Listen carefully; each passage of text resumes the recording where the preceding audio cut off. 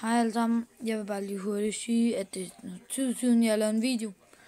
Men der er ikke så mange af jer, der så ser med, som der er subscribet. Så det kunne være rimelig fedt, på grund af når vi rammer 100 abonnenter, så overnatter jeg ude i den bil. Og på et eller andet tidspunkt, så tror jeg, jeg køber nogle flere ting til mine videoer og sådan noget. Sådan, som jeg også skal filme over min Playstation. Ligesom lige nu, hvor jeg er oppe i et hjørne. Men der er 78,1 procent, som der ikke er subscriber. Og så er der 9, eller 21,9 procent, der har subscriber, som jeg også kan se. Men øhm, kom nu.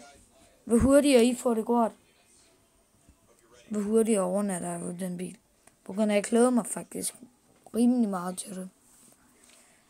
Det er bare rigtig meget. Det er rigtig koldt lige nu. Og når jeg, by the way, når, øhm, det var noget, jeg lavede med min klasse. Øhm, jeg kan huske, øhm, jeg ved nok ikke, om alle har, har set men øhm, det er bare, at, øhm, hvad fanden var den?